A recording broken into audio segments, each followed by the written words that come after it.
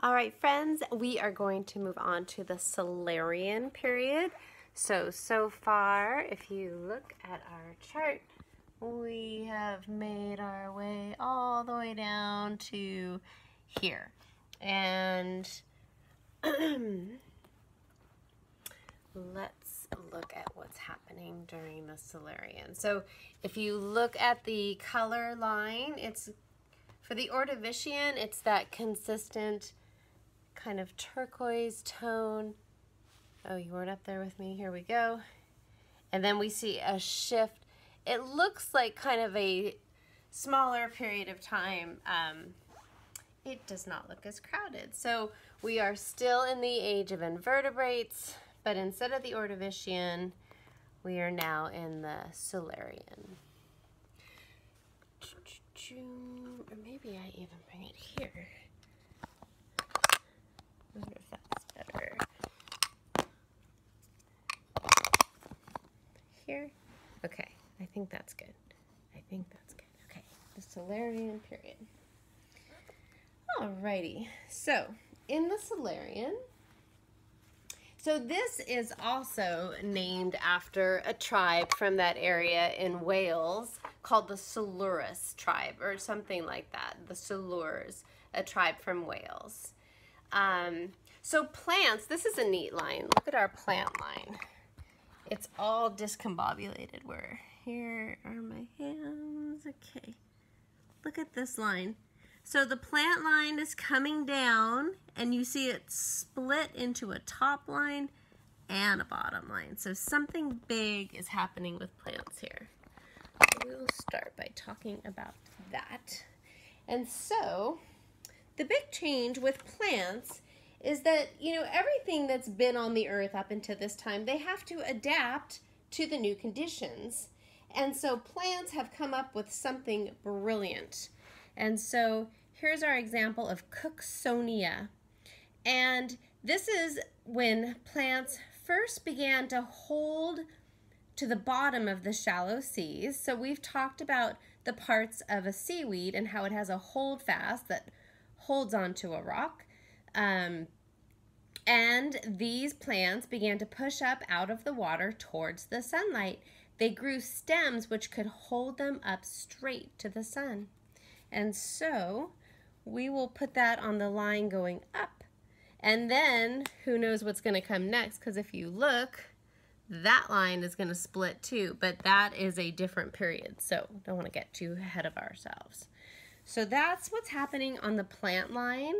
Um, I'm going to move my words up. It helps me follow. So here's the plant area. Um, prokaryotes. Yes, I'm all set. All right, let's see what's happening with the, now this is neat. There's a lot of changes with our corals. And I showed you um, the other day a real horn coral fossil. And let's talk about the corals. So let's see.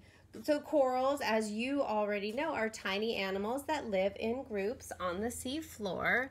And the colonies of corals that lived during the Silurian built hard exoskeletons uh, to protect their bodies. The exoskeletons formed huge reefs in the shallow waters. And um, so there were two kinds of corals. Um, tabulate corals lived in colonies that formed chains. The chains sometimes look like clumps of organ pipes. And so that would be this one. Um, there were more than 300 species of tabulate coral. Then there's the rugose, rugose type of corals that are often called horn corals, and they're shaped like the horn of a bull. The animal's tentacles reached out of the top of the cup. Both of these corals are extinct. So that's our coral line there. Excuse me, readjusting. There goes the chapstick. Okay. Okay, and then for mollusks and brachiopods, Um, just a different looking brachiopod. I don't have too much to say about it. Um, another new kind of trilobite for our trilobite line. And I, I was just rewatching the videos to make sure I'm not repeating myself. I don't remember me saying this, but um, you know, there were so many trilobites on the ocean floor during this period that people have said that this should have been named the age of trilobites. Um, what did I? You, I mean, you have, I think, a whole book about trilobites, so I won't say much. But um, they had many legs. They lived on the muddy sea bottoms. Um, they're similar to a horseshoe crab. Some could swim, and they were the rulers of the sea for a while. Um, some were about two feet long.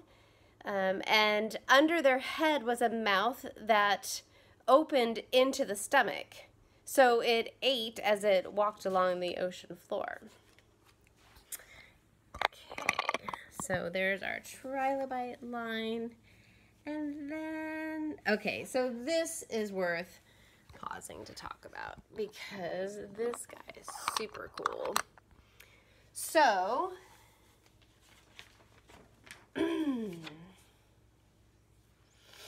A new kind of arthropod is on the earth, the sea scorpion.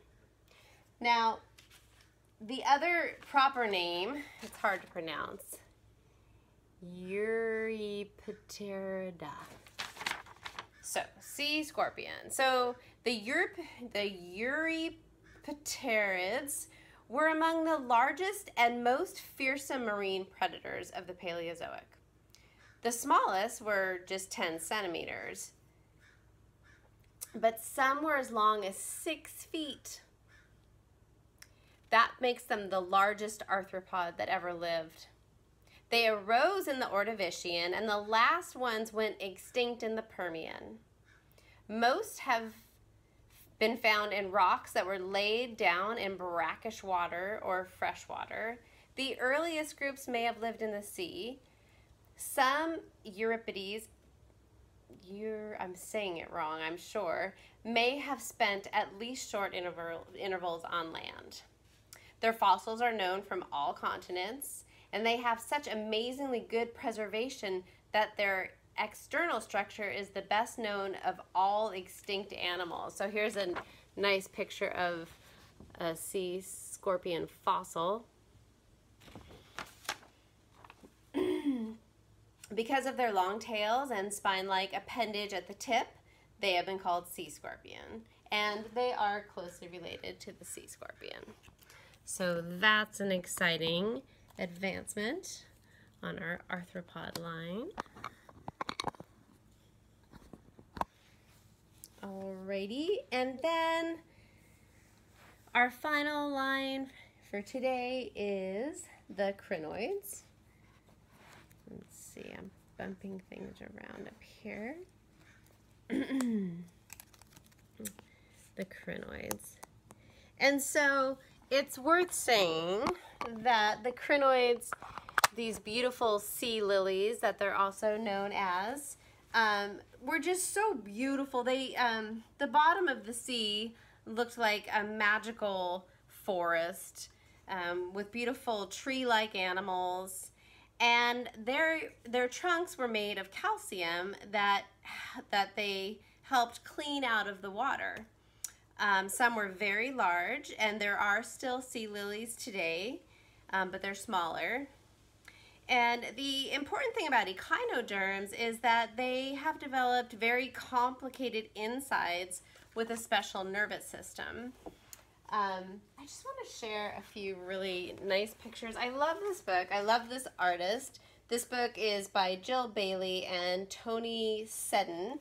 And if we were at school, you would be looking at it so often. But, I mean, look at these pages. This is their um, depiction of what the seas would look like. And I'm guessing whoever made my beautiful, well, Jennifer Beaven made my beautiful charts. I want to give everyone credit who deserves it. And so she also made these pictures that I've been showing of what it must have looked like. So you can see that coral that looks like the pipes and there's our sea scorpion. Um, here's another picture. So this is the Ordovician and the Silurian kind of combined.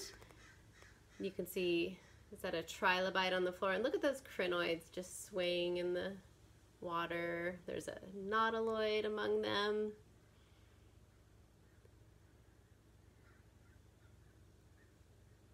You know, fossils don't preserve color, right? When you find a fossil, it looks like the earth tone. So we don't really know what color these